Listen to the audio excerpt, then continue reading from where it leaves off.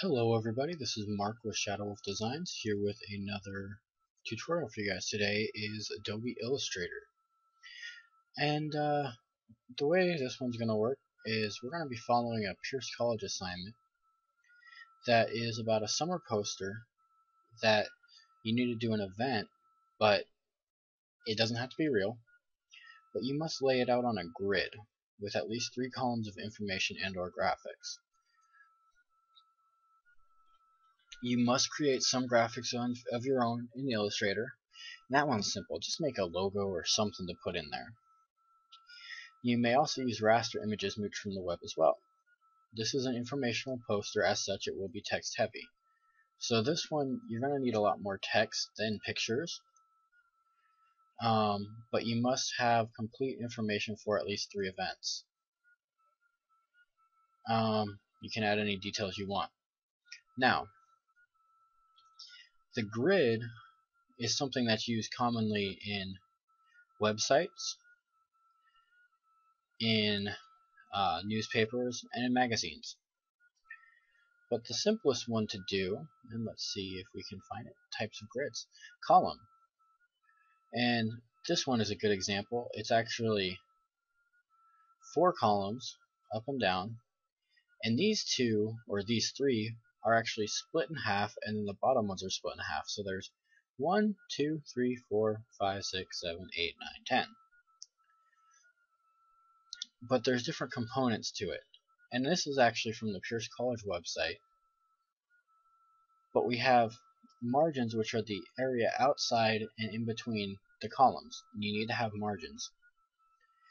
Then you have, or sorry, margins are outside, that are the edge um, or between the edge and the content. Gutters are between the columns. The columns are the verticals, and the rows are the horizontals. Now, the simplest way to set up a um, a grid system in Illustrator is to go to View, Rulers. Now I'm doing 8.5 by 11, and I need to get my um, I need to get this into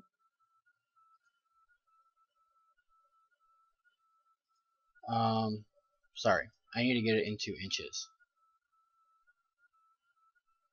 And let's go into units general inches. Okay there we go. So we have eight and a half. Now eight and a half divided by three isn't a good one we're going to give it, we're going to pretend this is a magazine. We're going to put a half inch here, and this is just example, so you don't have to follow this exactly. And then we're going to put two inches from that. Actually, that's a full inch. I apologize. So my guides are locked, so if you put a guide in the wrong spot, go to guides and unlock. Then I'll let you select it, and this right here is a half inch. And then what I'm going to do, actually I am going to move that back out to a full inch. I'm going to pull one out to 3 inches. No, yes, that way that's 2 inches. Pull this one out to 3.5 inches. Pull the next one out to 5.5 inches. Next one out to 6 and then this last one out to 8. Okay, we have our three columns. And that's that's how we start. But I also want to make sure I have a margin. So I'm going to pull guides down, and this is at 0. I'm going to do a full inch on the top. And I'm also going to do a full inch on the bottom. And I know I have an 11 so it's going to be right at 10. So we have margin, margin, margin, and then margin. These are our gutters. We have uh, inch wide gutters, no, half inch gutters, sorry. And then, so also we want to put pictures in here. Now the way I'm going to set it up is I want this top two inches for pictures. So from 1 to 3, this is for pictures, and then this is for text. But you know what? I changed my mind. This top inch right here, this is going to be right up here. That's going to be one block, one grid block. And then I'm going to go half inch gap and then an inch.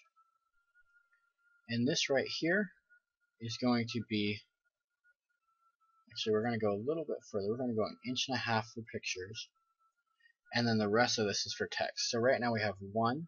It's sort of hard to see but let's uh, I'm going to lock my guides. View guides. Lock. That way I can't grab them we're going to color this in so that's going to be where my title is my overall title. And this will be like for this assignment it would be like events and then put a little logo in here because like the assignment says you do need your own graphics.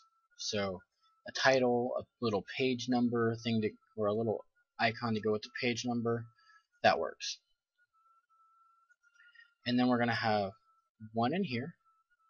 So that's gonna be one graphic that's gonna be another graphic and then that's going to be a third graphic. Each one of these is for its own run. And then if you want you can put another space here, another gap, and this time I would only use like a quarter of an inch. So I'm actually going to demonstrate. So quarter of an inch and then like a half inch. And that's for titles, for these. So then I need another quarter of an inch.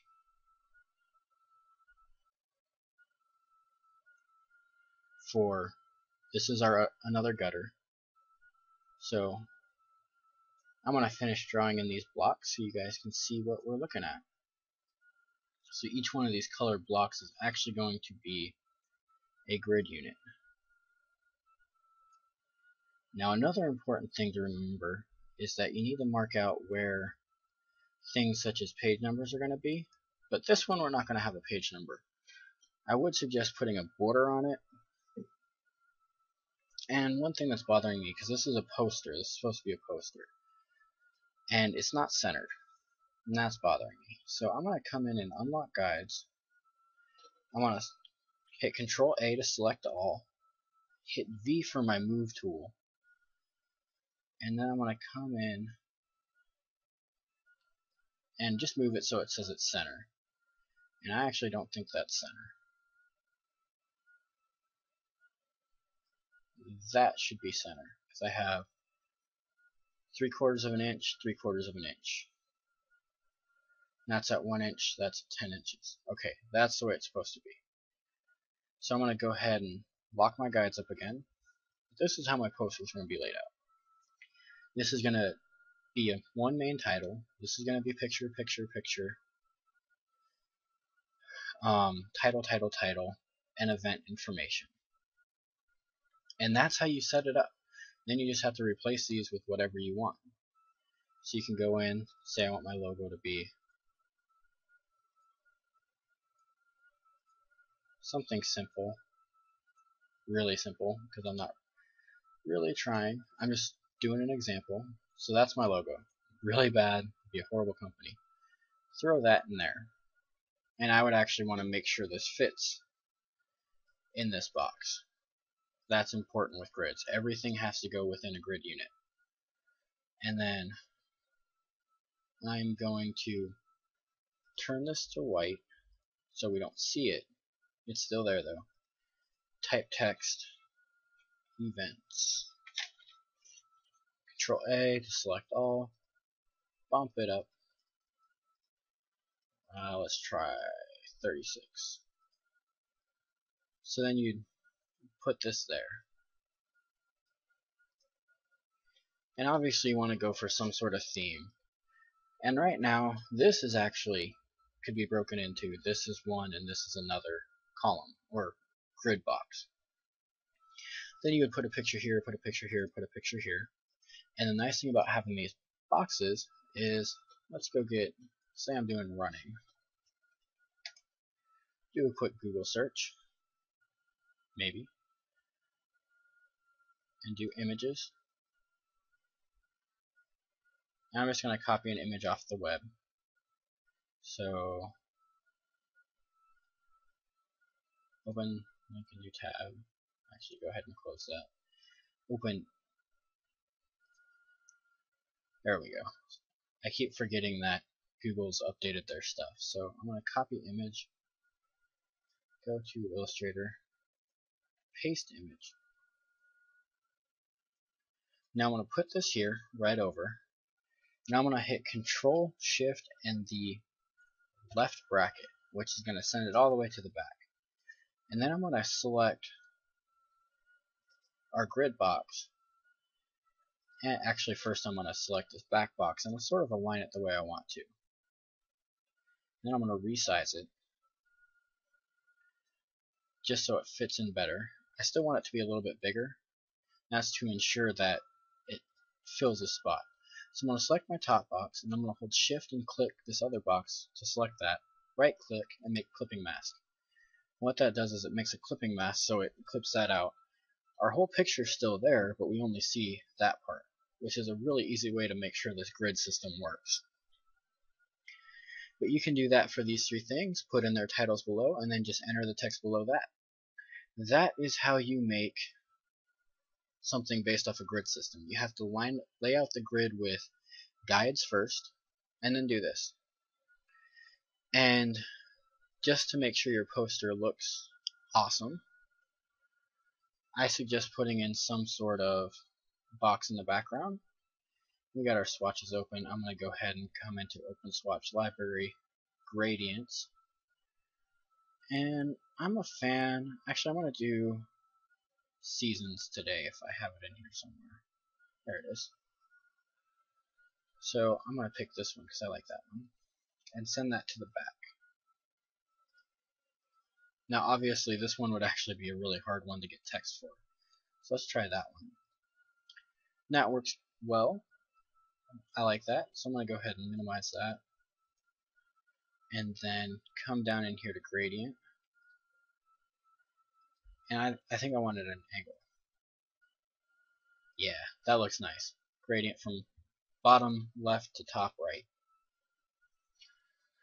But then just fill in the information and this way you don't have any big white spots. But it's still based off of a grid system. And that's how simple it is to do a grid. And then, because the next assignment is actually based off this one, it's destroying it. So what you're going to do is, in your Illustrator file, you're going to take stuff like this you're going to change it to a completely unreadable font. Not completely unreadable.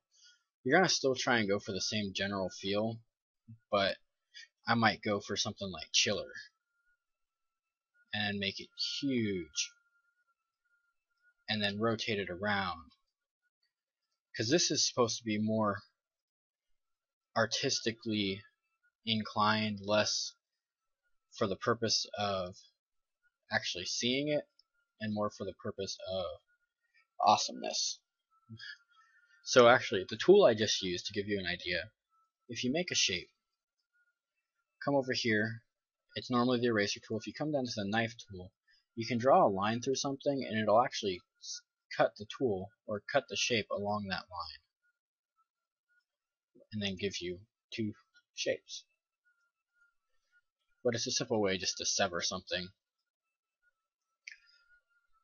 but you know you can set stuff off like that um, just screw around with your text cut up your pictures spread stuff out add throw in extra lines go crazy with it make it look interesting because let's see the purpose is is no longer a potion where information and readability are the primary functions. The primary pur purpose now is visual interest.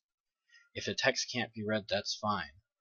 So and she the teacher has things to try and actually the one I just did slice images and graphics into pieces with scissors or knife tools. Try it. Do anything. Just be creative. Do whatever you want. Use all the tools you've learned. Go look up new tools if you want. But this assignment is really just tearing apart assignment 7. So I hope you enjoyed this tutorial. If it helped, um, and again, this tutorial was mainly about the grid. But if it helped, please leave a like below. If you enjoyed it at all, please leave a like below. If you would like to see more of my videos, please click that subscribe button next to my name. Uh, if you'd like to see any other tutorials, please leave a comment in the comment section. Uh, this has been Mark. I hope you had a good time. Have a good night.